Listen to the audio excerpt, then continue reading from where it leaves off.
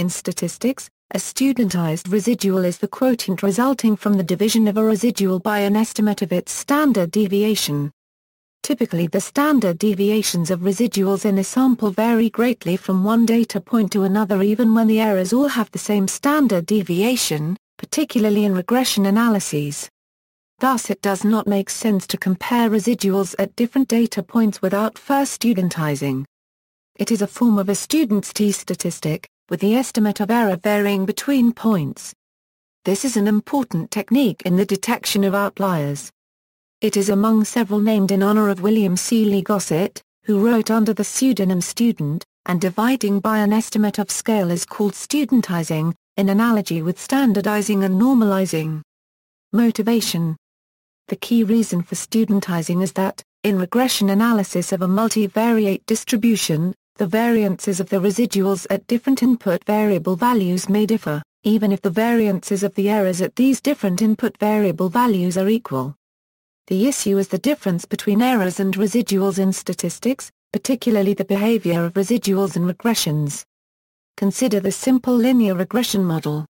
Given a random sample, i equals 1, n, each pair satisfies. Where the errors are micron i, are independent and all have the same variance i2 florins. The residuals are not the true, and unobservable, errors, but rather are estimates, based on the observable data, of the errors.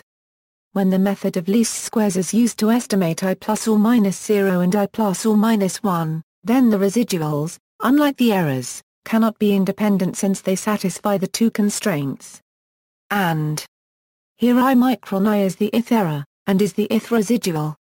Moreover, and most importantly, the residuals, unlike the errors, do not all have the same variance, the variance decreases as the corresponding x value gets further from the average x value.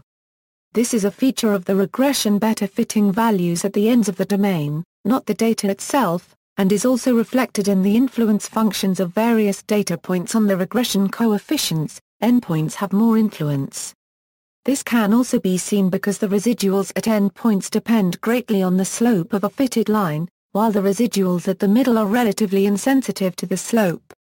The fact that the variances of the residuals differ, even though the variances of the true errors are all equal to each other, is the principal reason for the need for studentization.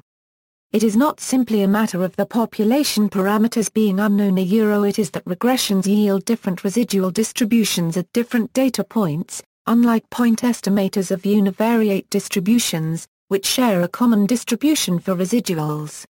How to studentize, for this simple model, the design matrix is and the hat matrix H is the matrix of the orthogonal projection onto the column space of the design matrix. The leverage high E is the ith diagonal entry in the hat matrix. The variance of the ith residual is in case the design matrix X has only two columns, this is equal to. The corresponding studentized residual is then. Where is an appropriate estimate of I florin? Internal and external studentization, the usual estimate of I2 florins is. Where m is the number of parameters in the model. But it is desirable to exclude the ith observation from the process of estimating the variance when one is considering whether the ith case may be an outlier. Consequently, one may use the estimate based on all but the ith residual. If the former estimate I2 florins is used, including the ith case, then the residual is said to be internally studentized. If the latter estimate is used instead, excluding the ith case, then it is said to be externally studentized. Distribution If the errors are independent and normally distributed with expected value 0 and variance I2 florins, then the probability distribution of the ith externally studentized residual is a student's t-distribution with NAMA 1 degrees of freedom, and can range from 2. On the other hand, the internally studentized residuals are in the range, where I 1 half equals NAM is the number of residual degrees of freedom. If T represents the internally studentized residual, and again assuming that the errors are independent identically distributed Gaussian variables, then where T is a random variable distributed as student's T distribution with I 1 half or 1 degrees of freedom. In fact, This implies that T slash I 1 half follows the beta distribution B, 1 half, I 1 half or 1, slash 2. The distribution above is sometimes referred to as the tau distribution. It was first derived by Thompson in 1935. When I 1 half equals 3, the internally studentized residuals are uniformly distributed between and. If there is only one residual degree of freedom, the above formula for the distribution of internally studentized residuals doesn't apply. In this case, the T are all either plus 1 or a 1, with 50% chance for each. The standard deviation of the distribution of internally studentized residuals is always 1, but this does not imply that the standard deviation of all the T of a particular experiment is 1.